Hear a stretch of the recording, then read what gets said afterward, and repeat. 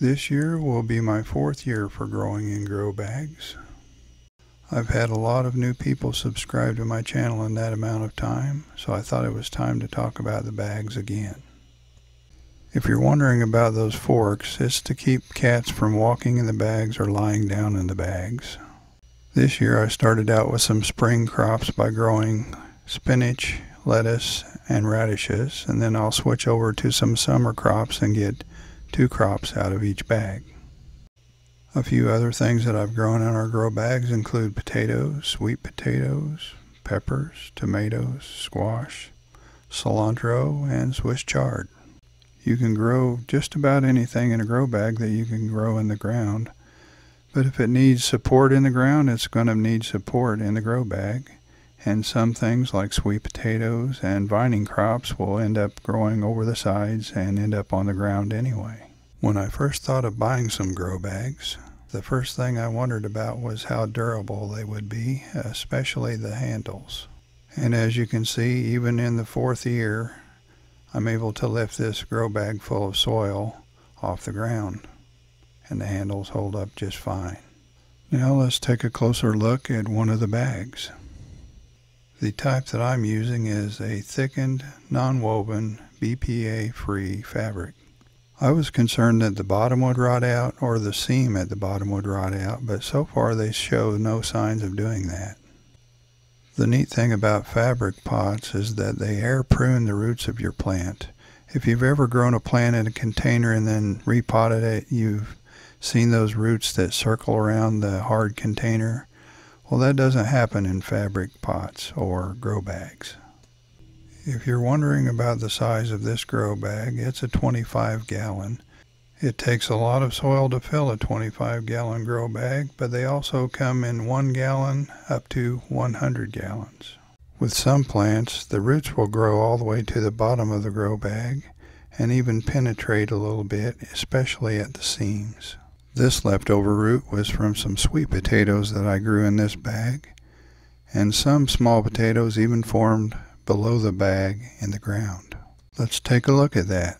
I doubt we'll have a whole lot in here, but it might be interesting to see what we have. Well, that's pretty soft dirt. Okay, there's a little red garnet. We got some more roots here. I'm not sure if they've got any more potatoes on the end of them. Let's see what this little purple molokai is. That was just a root starting to form, all that is. Now let's take a closer look at one of the handles. As you can see, they're well stitched and none of the stitching is starting to fray yet. And when you look on the inside, you see that there's another piece of fabric that's uh, kind of meant to be a reinforcement for the handles. Then on the side of each bag is one seam, and as you can see, it's held up very well too. Since new soil can be expensive, at the end of the season I dump our grow bags into a pile and then reuse it the next year. In order to make the soil better to grow in, I add a few things. Here I have some new soil, some peat moss, and some used soil. And I mix that all together and then I add some fertilizer. Uh, I have a video on the subject and I'll show you the exact formula I used in this mix. If you want to check that out, I'll put a link below. Once I have my soil mixed up and ready to go, I load a wheelbarrow and then take the soil over to where the grow bag is going to be in the garden and fill it there. It's much easier to do it that way instead of trying to carry a grow bag full of soil.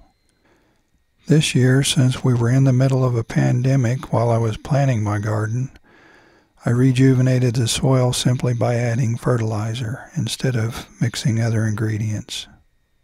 I've grown several different types of regular potatoes with mixed results, and I do think it takes more water to grow in grow bags than in the ground.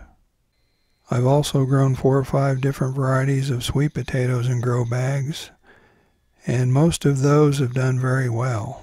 The variety you're looking at here is called Yellow Jersey, and that's a very old variety. Once the season is over, I simply empty the grow bags into the pile I showed you before.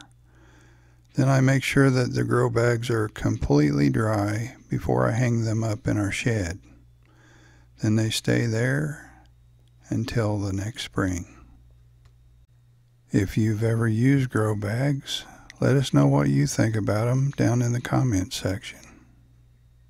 Don't forget to like and share, and if you're just now finding this channel and you haven't subscribed yet, please subscribe.